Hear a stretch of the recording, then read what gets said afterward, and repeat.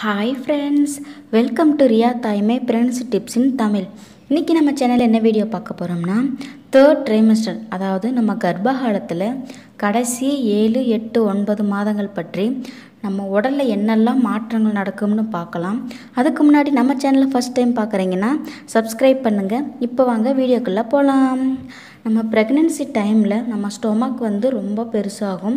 அதுவும் இந்த தேர்ட் ட்ரைமஸ்டில் பார்த்தீங்கன்னா பேபி க்ரோத் அதிகமாக இருக்கிறனால ஸ்டொமக் இன்னும் பெருசாகிட்டே போகும். இந்த செவன்த் மந்தில் வந்து பார்த்தீங்கன்னா வீக்ஸ் படி பார்த்தீங்கன்னா இருபத்தி ஏழு வாரத்துலேருந்து முப்பது வாரம் வரைக்கும் இந்த டைமு எயித் மந்த் பார்த்தீங்கன்னா முப்பத்தி ஒன்று வாரத்துலேருந்து முப்பத்தைந்து வாரம் வரை நைன்த்து மந்த்து பார்த்தீங்கன்னா முப்பத்தி ஆறுலேருந்து நாற்பது வாரம் வரைக்கும் இருக்குது நெக்ஸ்ட்டு பார்த்தீங்கன்னா இந்த தேர்ட் ட்ரைமஸ்டில் தான் பேபி க்ரோத் ஆகிறதால நம்மளால் சரியாகவே தூங்கவே முடியாது. யூரின் வந்து அடிக்கடி வர மாதிரியே இருக்கும் நைட் டைமில் நைட்டு தூங்கவும் முடியாது சிரமமாக இருக்கும். அதுக்கு நம்ம என்ன பண்ணலான்னா ஏழு மணிக்குள்ளவே தண்ணி குடிச்சுக்குங்க. இடையில அப்படியே தண்ணி தவமாக இருந்ததுன்னா லைட்டாக மட்டும் குடிச்சுக்குங்க. நம்ம பேபி இந்த டைமில் செஃபாலிக் நிலைக்கு வர்றதுனால யூட்ரஸில் அழுத்தம் கொடுக்குறாங்க. அதனால் அடிக்கடி நமக்கு யூரின் வர மாதிரி இருக்கும். நெக்ஸ்ட்டு வந்து பார்த்திங்கன்னா நெஞ்செரிச்சல் இருக்கும். அதுக்கு நம்ம என்ன பண்ணலான்னா மூணு வேளையாக சாப்பிட்றத ஆறு வேளையாக பிரித்து நம்ம கொஞ்சம் கொஞ்சமாக சாப்பிட்லாம். நெக்ஸ்ட்டு பார்த்தீங்கன்னா செகண்ட் ட்ரைமஸ்டரை விட செவன்த்து எயித் மந்தில் பேபி மூமெண்ட் அதிகமாக இருக்கும். நைட் டைமில் நம்மளை தூங்க விட மாட்டாங்க. நைன்த் மந்தில் பார்த்தீங்கன்னா பேபி மூமெண்ட் குறைவாக இருக்கும். பயப்பட வேண்டாம். ஏன்னா நம்ம பேபி செஃபாலிக் நிலைக்கு வந்துட்டாங்கன்னா தலை கீழே போயிடும். மூமெண்ட்ஸ் குறைவாக தான் இருக்கும். ஒரு நாளைக்கு பத்துலேருந்து பதினஞ்சு தடவையாவது அவங்க கிக் பண்ணுறாங்களான்னு செக் பண்ணிக்கோங்க.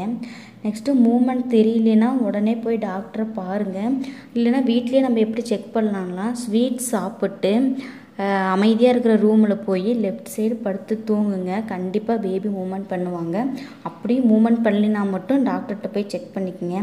நெக்ஸ்ட்டு பார்த்தீங்கன்னா நம்ம வயிறு பெருசாகிறனால நமக்கு மூச்சு விடுற வந்து ரொம்ப கஷ்டமாக இருக்கும். இந்த டைமில் தான் நமக்கு மலச்சிக்கல் ஏற்படும். அதுக்கு கொய்யாப்பழம் நீராகாரமெல்லாம் நிறைய எடுத்துக்குங்க.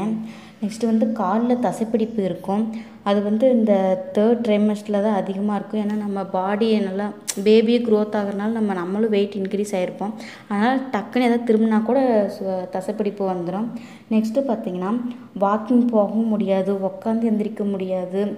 நம்ம பேபி க்ரோத் ஆக க்ரோத் ஆக நம்மளால் ரொம்ப முடியாமல் போகும். கொஞ்சம் சிரமமாக இருக்கும். ஆனால் ஆஃப்டர் டெலிவரி சரியாயிரும்.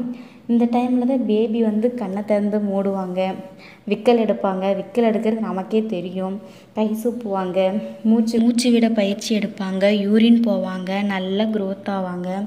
ஒன்றரை கிலோ இருக்கவங்க நைன்த்து மந்த் எண்டில் மூன்றரை கிலோ வரைக்கும் வளர்ந்துருவாங்க அந்த தேர்ட் ட்ரைமஸில் தான். அவங்க இன்ச்சு வந்து பதினெட்டு இன்ச்சுலேருந்து இருபத்தோரு இன்ச்சு வரைக்கும் இருப்பாங்க. செஃபாலிக் நிலைக்கு வந்த உடனே இவங்க நம்ம பேபி கை கால் பேக்கை வச்சு தான் கிக் பண்ணுவாங்க. நம்ம பேசுகிறது அவங்களுக்கு இந்த டைமில் நல்லாவே கேட்பாங்க. நம்ம டெய்லியும் அவங்கக்கிட்ட பேசலாம். நைட் அவங்க தூங்கவே மாட்டாங்க. நைட் டைமில் அவங்கக்கிட்ட நம்ம பேசலாம். நார்மல் டெலிவரி என்னெல்லாம் பண்ணால் அப்படி நார்மல் டெலிவரி ஆகும். நம்ம பேபி பேசினா கடைசி நேரத்தில் நமக்கு மிராக்கில் நார்மல் டெலிவரி தான் ஆகும். நம்ம பே நம்ம பாப்பா நம்ம பேசுகிறதெல்லாம் கேட்டு அதுபடி கேட்டுக்குவாங்க. அம்மா அதுவும் இல்லாமல் நம்ம அம்மா தான் நம்மக்கிட்ட பேசுகிறாங்கன்னு அவங்க கண்டுபிடிச்சிக்குவாங்க. அந்த டைமில் எல்லா வாய்ஸையும் அவங்க நோட் பண்ணுவாங்க. நம்ம அடிக்கடி பேசுறதுனால ஓதுதா நம்ம அம்மா பேசுகிறாங்க அப்படின்னு தெரிஞ்சுக்குவாங்க. நீங்கள் வயிற்றை டச் பண்ணிக்கிட்டே அவங்க தடவி கொடுத்தே நீங்கள் பேசலாம். அதே மாதிரி நம்ம எப்படி இருக்கோமோ அதே மாதிரி தான் நம்ம குழந்தையும் இருப்பாங்க. அழுதா நம்ம அழுதா அவங்களும் அழுவாங்க. நம்ம சிரித்தா அவங்களும் சிரிப்பாங்க. ஸோ நீங்கள் எப்பயுமே ஹாப்பியாக இருங்க. நெக்ஸ்ட்டு பார்த்தீங்கன்னா இந்த டைமில் இன்ஃபெக்ஷன் வராமல் பார்த்துக்குங்க. அது ரொம்ப முக்கியம். நார்மல் டெலிவரிக்கு எக்ஸசைஸ்லாம் பண்ணுங்கள் இந்தியன் டாய்லெட் பொசிஷன் எக்ஸசைஸ் பண்ணுங்கள் பட்டர்ஃப்ளை எக்ஸசைஸ் பண்ணுங்கள் வாக்கிங் போங்க. அந்த மாதிரி எல்லாம் பண்ணால் நார்மல் டெலிவரி ஆகும். நெக்ஸ்ட்டு வந்து பார்த்திங்கன்னா இந்த டீப் ஃப்ரை பண்ணுறதெல்லாம் அவாய்ட் பண்ணுங்கள் ஒயிட் சுகரும் அவாய்ட் பண்ணுங்கள் கண்டிப்பாக அதை எடுத்துக்கவே எடுத்துக்காதீங்க. அது கொஞ்சம் ரொம்ப அவாய்ட் பண்ணிடுங்க நெக்ஸ்ட்டு வந்து பார்த்திங்கன்னா நைட் டின்னர் வந்து செவன் ஓ கிளாக் முடிச்சுக்குங்க எனக்கெலாம் அடிக்கடி பசிக்கும். நான் என்ன பண்ணுவேன்னா கொஞ்சம் கொஞ்சமாக ஃப்ரூட்ஸு இல்லைனா சாப்பாடு கொஞ்சமாக சாப்பிட்டு தண்ணி குடிச்சுக்குவேன். எனக்கு பசி கண்ட்ரோலே ஆகாது. அதனால் இப்படி பண்ணுவேன். உங்களுக்கு அந்த மாதிரி இருந்தால் அந்த இந்த மாதிரி கொஞ்சம் கொஞ்சமாக சாப்பிட்டு தண்ணி குடிச்சுக்குங்க. எல்லாத்த உடம்பும் ஒரே மாதிரி இருக்காது. நெக்ஸ்ட்டு பார்த்திங்கன்னா கால் வீக்கம் இருக்கும். அதனால் காலை தொங்க போட்டு அதிகமாக உட்காராதீங்க இந்த தேர்ட் ட்ரைமஸ்டில் இந்த டைமில் தான் அதிகமாக கால் வீங்கும். அதனால் நீங்கள் காலை நீட்டி உக்காருங்க. உட்கார்ற மாதிரி இருந்தீங்கன்னா அதுக்கப்புறம் பார்த்தீங்கன்னா உப்பு காரம் கம்மியாக எடுத்துக்கோங்க. நீர் அதிகமாக குடிங்க. நெக்ஸ்ட்டு பார்த்தீங்கன்னா ஸ்ட்ரெச் மார்க் வந்து அதிகமாக வரும். அதுக்கு நமஷன் தொட தடவுனாலும் கோகனட் ஆயில் தடவுனாலும் அது சில பேர்த்துக்கு தான் மறையும்னு சொல்லலாம். எல்லாத்துக்கும் மறையும்னு சொல்லவே முடியாது. அதுக்கெல்லாம் ஃபீல் பண்ணாதீங்க. நெக்ஸ்ட்டு வந்து பார்த்திங்கன்னா வெஜினல் பெயின் வந்து வரும் பேக் பெயினும் வரும். அது ஏன்னா நம்ம பேபி ப்ரீச் பொஷன்லேருந்து செபாலிக் நிலைக்கு வந்துட்டாங்கன்னா பெல்விக்கில் ஃபிக்ஸ் ஆகி கீழே இறங்குறதுனால வெஜினல் பெயினும் பேக் பெயினும் வரும். நெக்ஸ்ட் வந்து பார்த்திங்கன்னா வாமிட்டிங் வந்து நிற்கவே நிற்காது ஒரு சிலருக்கு. ஆஃப்டர் டெலிவரி தான் சரியாகும். அதுக்கு யாரும் ஃபீல் பண்ண வேண்டாம். இந்த தேர்ட்டி சிக்ஸ் வீக்ஸில் க்ரோத் ஸ்கேன் பண்ணுவாங்க. அதில் நம்ம நஞ்சு கொடி ப்ளசண்ட்டாக எந்த பக்கம் இருக்குன்னு பார்ப்பாங்க. நம்ம பேபிக்கு கொடி சுற்றி இருக்கா அப்படின்னு பார்ப்பாங்க. ப்ரீச் பொஷன்லேருந்து செஃபாலிக் நிலைக்கு நம்ம பேபி வந்துட்டாங்களான்னு பார்ப்பாங்க. நம்ம பனிக்கூட நீர் அளவு கரெக்டாக இருக்கான்னு பார்த்து சொல்லுவாங்க. நம்ம பேபி க்ரோத் எல்லாம் நல்லா வளர்ந்துருக்கான்னு பார்ப்பாங்க. ஹார்ட் பீட்டில் செக் பண்ணுவாங்க. நெக்ஸ்ட்டு வேறு என்ன டெஸ்ட்டெல்லாம் எடுப்பாங்கன்னா அந்த டைமில் ஹீமோக்ளோபின் டெஸ்ட் எடுப்பாங்க சுகர் டெஸ்ட்டெலாம் எடுப்பாங்க. குழந்த தலை பெல்விக்கில் ஃபிக்ஸ் ஆகிருச்சான்னு பார்ப்பாங்க.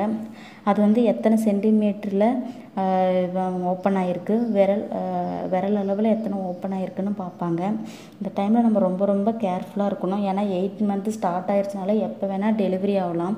ஒரு சிலருக்குலாம் சீக்கிரமாக டெலிவரி ஆயிரும். சொன்ன டைமில் சொன்ன டைம்லேயும் பிறக்கலாம். அதுக்கு முன்னாடியும் பிறக்கலாம் அதுக்கப்புறமும் பிறக்கலாம். நம்ம எப்பயுமே கொஞ்சம் ரெடியாக இருந்துக்கணும். ஹாஸ்பிட்டலுக்கான பேக்கெலாம் ரெடி பண்ணி வச்சுருக்குங்க. செவன்த் மந்தில் பேபி ஷவரில் நடத்துவாங்க. அதில் ஹாப்பியாக நல்லா ஃபோட்டோ ஷூட்லாம் எடுத்துக்கோங்க. நான் சொல்கிற டிப்ஸ்லாம் உங்களுக்கு யூஸ்ஃபுல்லாக இருக்குன்னு நினைக்கிறேன். ஓகே ஃப்ரெண்ட்ஸ் நம்ம சேனல் உங்களுக்கு பிடிச்சிருந்தா லைக் பண்ணுங்கள் ஷேர் பண்ணுங்கள் சப்ஸ்கிரைப் பண்ணுங்கள் தேங்க்யூ ஃப்ரெண்ட்ஸ்